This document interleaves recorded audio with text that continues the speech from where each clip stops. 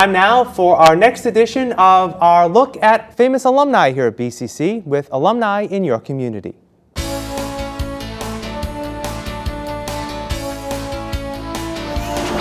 My name is Micheala Gagne and I'm a graduate of BCC class of 2008.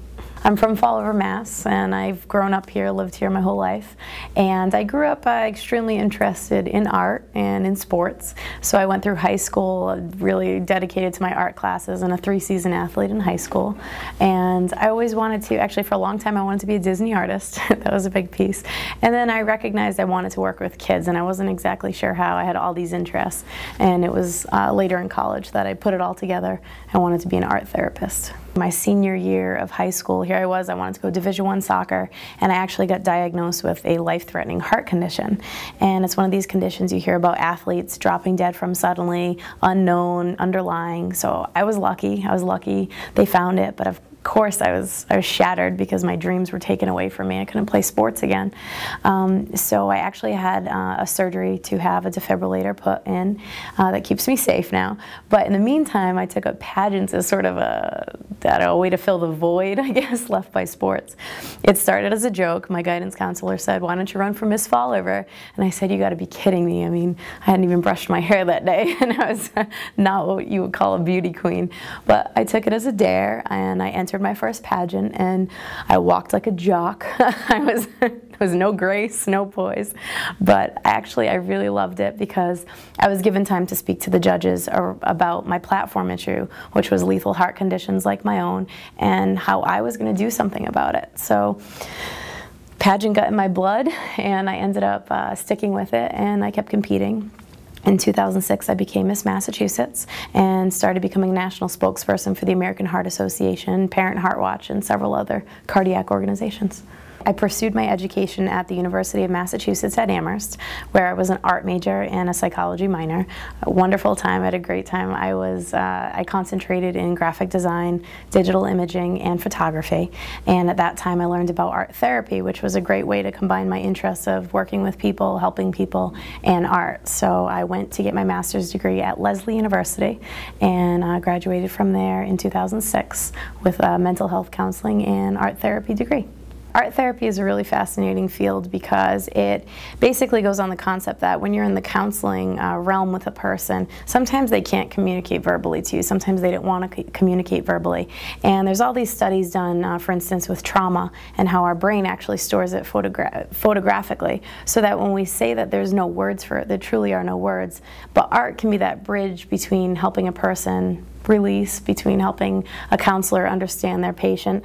And um, it, it's just a really holistic, great way to be able to work with someone. Art therapy is used across the populations. Um, it's commonly thought to be used with only children, but it, that could be furthest from the truth. It's really effective across the realm of ages and um, different diagnoses. And it can be used, you know, any counselor or therapist could have a background in art therapy because you're also given a solid background in the counseling, um, in the clinical aspect of everything. You just use art as one of your tools to work with your client.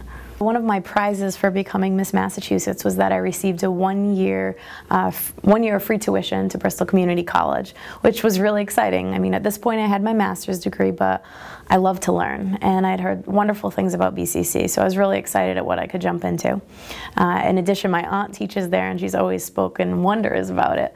So I kind of, my the first semester I was there, I, I took three different classes, tried out a few different things, and one of them happened to be one of the thanatology classes. And, you know, probably a couple classes and I got hooked, and I said, well, I'm, I'm going to do this certificate no matter what. And I ended up finishing and, uh, and finishing up the uh, certificate. I really loved my professors at BCC. I thought they were, it, was nice to be in an environment where it was small, I got a lot of attention, um, and it was a lot of hands-on stuff. I really enjoyed that. I enjoyed my classmates. We had a great time in the, in the night school, and um, overall, it was just, it felt like home. I work at St. Vincent's Home in Fall River, and it's a residential and educational facility for children in need. Most of our kids have uh, a multitude of behavioral, cognitive, and emotional issues, as well as different educational issues. So I have the fun job. I'm the art teacher, and um, it's a great experience, and it's really useful to have an art therapy background to make art on a more meaningful level with these kids. I started six years ago, and at first I was in direct care with the kids, so I think I understood, uh, was able to understand them a lot. So when I moved into the role of teacher, it really helped with uh, being able to incorporate ideas that I thought we're just really meaningful. I'm not. I don't cut and paste and glue with the kids. It's it's much deeper. Um, whether it be a mosaic, which really um, the project behind me is actually they picked a positive word and they use the mosaic tiles to illustrate it. Uh, so it was a really fun project. But it's just uh, being aware of what the kids' limits are um, and giving them the freedom to just create rather than give them a, a grade for how good their art was. I, I don't believe in grades for skill. I believe in grades for participation participation and effort. When I, when I see a kid really engage in art and get it and understand it and dive into it, there is no greater feeling. There really isn't. And sometimes that might not be with painting or drawing, but sometimes that might be when we're in the graphic design room and playing around with different computer images. And there, I mean, there's no greater feeling because then you feel like you gave a kid this gift, this outlet where they can escape from a lot of the problems they have in their life and just be a kid and just have fun and just express themselves.